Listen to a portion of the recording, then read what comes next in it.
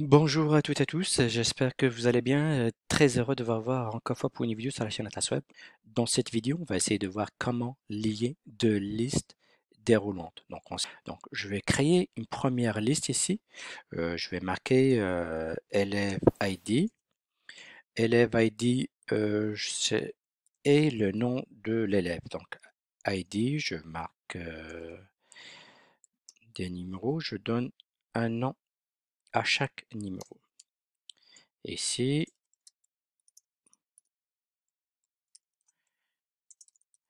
Donc ça, c'est ma première liste. Donc je vais créer une deuxième liste. Donc la deuxième liste, donc je vais créer euh, ma liste.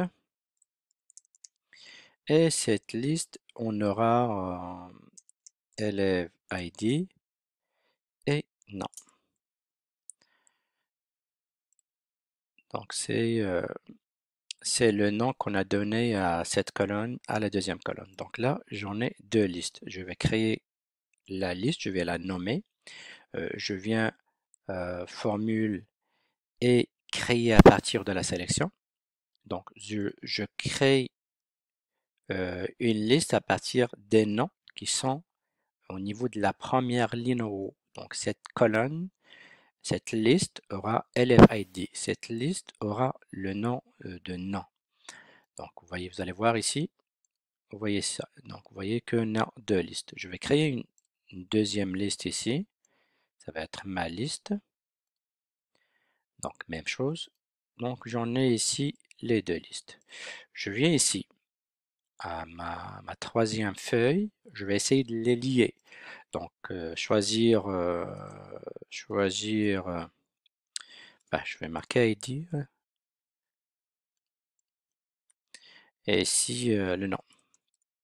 Donc, c'est juste un exemple. Donc, peut-être que j'ai pas bien sélectionné l'exemple ou préparé l'exemple, mais vous allez comprendre c'est quoi le but.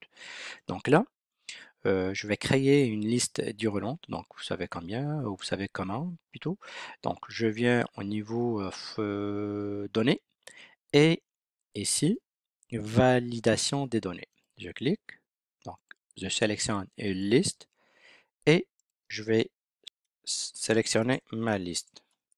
Si vous n'avez pas nommé la liste, vous pouvez comme juste venir ici aller sélectionner la liste. Moi, je l'ai déjà nommé. Donc ça, c'est ma liste. Je clique donc, ma liste, c'est elle. Donc, vous allez voir, j'ai les mêmes données. J'ai les mêmes données. Et ici, c'est là où il y a euh, l'astuce.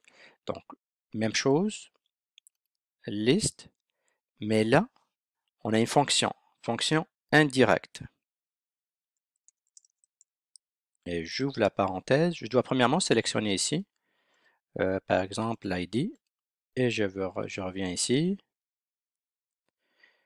Et je reviens ici. Ici, liste est à la fonction indirecte. J'ouvre la parenthèse, je sélectionne, je ferme la parenthèse et le tour est joué. Donc, élève ID, si par exemple élève, euh, ID, je vois ici c'est quoi la liste de l'élève ID. Et si, si j'en ai le nom, je vais sélectionner le nom, je vais choisir le nom qui correspond à la liste nom. Donc, vous voyez, donc là, on a créé euh, une liste euh, déroulante liée. Donc, des listes plutôt. Pas une liste, mais des listes. On a plusieurs listes. On les a liées. Peut-être que si, si vous avez un tableau de données, vous allez juste créer une autre, une autre liste avec les mêmes noms au niveau de chaque colonne. Il ne devrait pas avoir d'espace. Donc, euh, si on a espace, ça va pas marcher. Donc, il y aura pas, il devrait pas avoir ici élève espace ID. Ça marche pas. Il faut euh, réécrire les mêmes noms. Donc, la même chose ici, ça doit être ici. Là, non, c'est le même nom. Élève ID, c'est le même élève ID ici. Et par la suite, vous allez venir ici, vous allez essayer de les lier. Donc là, j'en ai ID. Je peux marquer euh, j'ai ici le nom et le nom des élèves. Donc, donc là, vous pouvez comme lier deux listes euh, ici. Donc, vous pouvez comme personnaliser votre travail au cas où, mais euh, L'objectif ici, juste de montrer comment lier deux listes déroulantes et euh, c'est-à-dire l'application de la fonction indirecte.